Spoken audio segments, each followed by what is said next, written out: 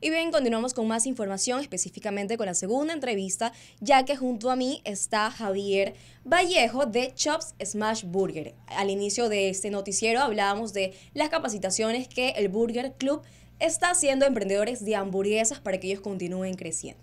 Buen día, Javier. Hola, ¿qué tal? Muy buenos días. Muchísimas gracias por la invitación a este medio.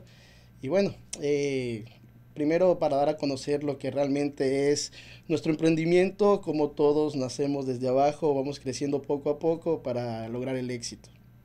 Por supuesto, Javier. Y mencionabas un poco de eh, quiénes son ustedes, cuál es la historia de Chops, cómo inició ese emprendimiento. Bueno, nuestra historia es muy linda porque empezó precisamente con el Burger Show, la primera edición en el 2022 en la ciudad de Guayaquil. Y obviamente nosotros como con mis hermanos fuimos de, de comensales a probar hamburguesas, disfrutar del evento y nos pareció un evento súper chévere. De lo cual nos llevó a fabricar una hamburguesa en casa para sacarnos las dudas, ¿no? Y obviamente empezaron a surgir las salsas, las recetas, todo, y, y sacamos un producto de muy buena calidad cuando en realidad empezamos en nuestros patios de, de, casa, nosotros vendíamos a las familias, a amigos que eran nuestros primeros comensales y todos nos daban una buena reseña de nuestro producto. Eh, por ende, nosotros a los tres meses de haber iniciado el emprendimiento, nos lanzamos al Burger Show segunda edición 2022 en Quito. Eh, fue una locura, fue una multitud de gente, nosotros con una plancha pequeña, nosotros sin prepararnos para un magno evento de esa magnitud. Entonces generamos, eh, nos generó mucha expectativa a lo que realmente fue donde ganamos un segundo lugar en categoría Smash, que nos catapultó en Quito y bueno, haber iniciado aquí en Guayaquil y en Quito haberla sacado del estadio, nos llevó a, a crecer mucho allá. Entonces nos volvimos una hamburguesa viral en Quito, de lo cual creamos nuestra Dark Kitchen inicialmente, ahora tenemos un restaurante en lo que es La Floresta y abrimos una Dark Kitchen acá en Guayaquil para seguir eh, con nuestras hamburguesas en la parte de acá de, de la costa.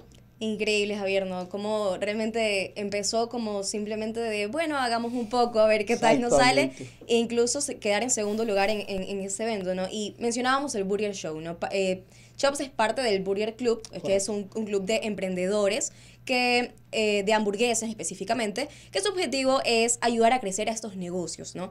Eh, y como parte de este club, eh, ustedes fueron parte, como mencionabas, del Burger Show. Eh, el último ocurrió a finales de julio. Cuéntanos un poco también cómo, cómo se desenvolvió ese evento y cuál fue su experiencia. Claro, en realidad nuestra experiencia fue grata porque nosotros ya teníamos conocimientos y experiencias en estos eventos. Obviamente el evento eh, con, con, el patrocinio de Coca-Cola y todo fue una locura, o sea, fue algo que impactó bastante en el sentido de artistas y la gente y el tema de, de mucha interacción con las marcas auspiciantes, o sea, muy chévere, una experiencia muy, muy linda, real. Incluso autoridades fueron parte de este evento, ¿no? Correcto, el mismo presidente de la República pasó por nuestro stand, nos saludó y fue algo gratificante porque imagínate estar frente al presidente de la República, no muchas personas lo pueden conseguir. Así es, probando la hamburguesa Exactamente, ustedes, por y dando una buena reseña de ella. Me imagino que, que ha haber sido una experiencia muy bonita para ustedes.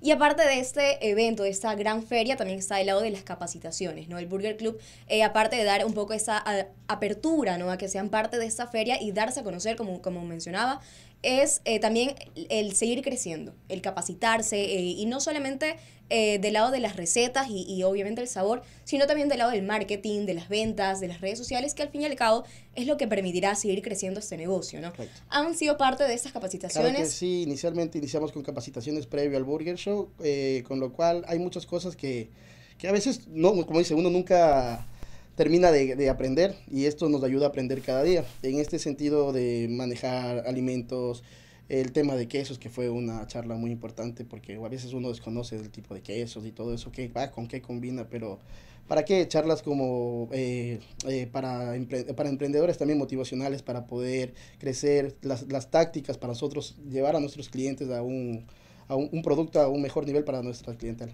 Bien, y, y sobre todo un poco estas capacitaciones también para diferenciarse, ¿no? Actualmente hay muchísimos negocios de este nuevo tipo de hamburguesa que se le dice smash, ¿no? Correcto. Al inicio solo conocíamos la típica hamburguesa, Clásica. ¿no? Eh, pero ahorita existe la smash, ¿no? Y, y ahí va un poco el lado de cómo diferenciarse, cómo ustedes han logrado diferenciarse eh, y no solamente hablando de, obviamente, de la receta, que es muy importante, Correcto. sino también eh, el hecho de tal vez mostrar a la audiencia algo diferente. ¿Cómo han logrado hacerse presente. exactamente, o sea, nosotros primero, bueno, ambiente la ayuda de redes sociales, eh, que ayuda mucho a lo que es mostrar nuestro producto.